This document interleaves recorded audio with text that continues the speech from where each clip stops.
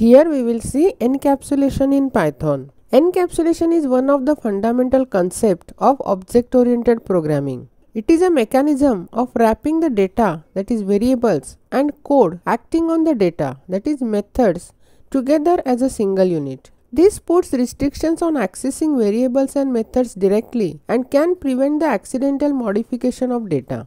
In encapsulation, the variables of a class will be hidden from other classes and can be accessed only through the methods of their current class. Encapsulation in Python also ensures that objects are self-sufficient functioning pieces and can work independently. Next we'll see advantages of encapsulation. First is code reusability. Encapsulation in Python allows developers to create reusable code by hiding the implementation details of an object or class and only exposing a public interface for interacting with it. Next is data hiding. Encapsulation helps to protect the internal state of an object or class from being accessed or modified by external code, which improves the security of the application.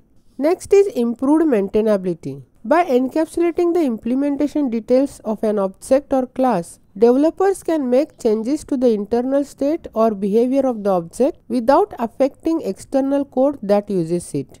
Encapsulation makes the code more organized and easier to understand by clearly separating the public interface from implementation detail. Encapsulation allows developers to have better control over the properties and methods of a class by making some properties private or protected and only allowing them to be accessed by specific methods. And encapsulation encourages developers to design classes that are cohesive and have a single responsibility, which makes the code more modular and easier to maintain. Three types of access modifiers are required to achieve encapsulation. Public member, which is accessible anywhere from outside a class. Private member, which is accessible within the class and protected member which is accessible within the class and its subclass. But in Python, we don't have direct access modifiers like public, private and protected. We can achieve this by using single underscore and double underscore. Access modifiers limit access to the variables and methods of a class.